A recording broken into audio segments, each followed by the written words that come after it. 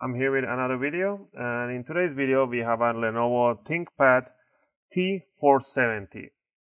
This one is an uh, Intel version which is an iCore 5 vPro processor and in today's video I'm going to show you guys how to open it up and how you can upgrade the RAM on these models.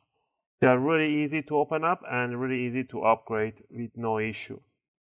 And the tools that you're going to be needing, it's a screwdriver set. I use the iFixit tool set. These are one of the best screwdriver set that is out there. They have one of the great, eh, it's, I believe it's an S2 steel that they have. So the bits will last you very long time. So they don't go bad.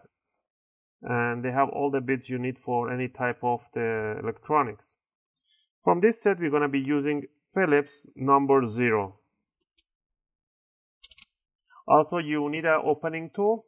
This set, they provide you a pro version, which they give you an opening tool. But if you don't want to get the pro version, you can just grab uh, any opening tool. I my prefer I prefer this guitar pick. The metallic ones, they have really soft edges and they're really tough to bend. With these two, and also you need the RAM. The RAM can be any DDR3 SD RAM. Okay, First thing first, you want to flip over the laptop, make sure the power is completely off. And you want to unlock this side and pull it out a little bit. And unlock this other one clip and pull it backward and slide it back the battery. So this is the external battery. There's two batteries in here, external one and there's an internal one. Alright, now we're gonna start unscrewing every screw that we see on the bottom cover Okay, uh, just remember that the screws won't come out. They have a C-lock on them. So we just have to loose them up. Uh, just do a few twists. And then you hit a click and then just let go.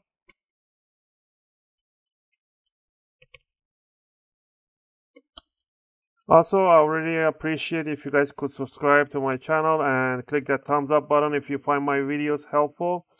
I really appreciate because I only find that only 1% of my viewers subscribe. It's really big motivation to see people subscribing because I try to answer and take requests all the time. So something nice in return. Alright, once you removed all the screws at the bottom cover, now you want to open up the laptop a little bit. And you want to stick the guitar pick between the top and the bottom cover. Just somehow manage it right there, about 2 millimeters, and then you just want to wiggle it around a little bit go in front. Just you want to remove those clips do to the sides go all the way to the back corner. Just like that and do the left side. No this one is not necessary. Once you got most of them out just close down put it back down and just wiggle it around and lift it up and move it around while you're lifting up and it will come out eventually and these are the C-locks on the screws that they will prevent the screws from falling down.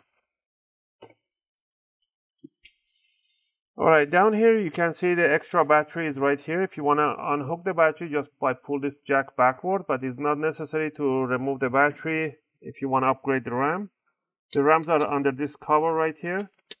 So you can just pull it back or you can just rip it apart for a second. Put it to one side there's a two RAM DIMM available in, on these models. They're one beside each other. All right. To remove the RAM, first you don't need to remove the battery. So if you want, go ahead remove it. To remove the RAM, you want to pull these two triggers apart. So by pulling these two triggers apart, the RAM will come out in 45 degree angle. It will just pop out in 45 degree angle. Now you want to grab it in the same 45 degree angle and you want to pull it out in the same direction.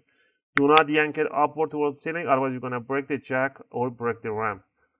All right, and these are the 8 gig and DDR3 RAM. So I'll leave the link in description for bigger version. You can put a 16 and 16 gig to have 32 gigs. To put the new RAM in, make sure the notch on the RAM matches the notch on the DIMM. And then bring it in 45 degree, stick it all the way towards the DIMM and then push it toward the motherboard and you should hear these two triggers doing click just like that okay now you got both of them If in case, let's say you change the RAM, you put it in, you turn it on, it might take up to 5 to 10 seconds for it to boot or detect, or maybe you have to switch around the RAMs. Not always the first boot is going to detect. Sometimes you need to flip and switch the RAMs, the places. So that's a really common issue. All right, once you have the RAM in there, now the next thing would be to grab the this cover sheet, bring it over and just stick it right in there. Plug in the battery if you have unplugged it. Grab the bottom cover, bring it over, and then just push it down. Make sure you hear those clicks at the back here. And then push the sides. And the last thing would be to just screw down the screws and put the slide down the external battery okay make sure you put the cover in before you power on because there's a sensor that would trigger that the cover is down is open so it will not boot so make sure we close down the cover before you power it on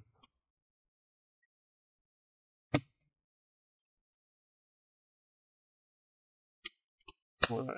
Then do one last push down. Make sure those clips, clips go in.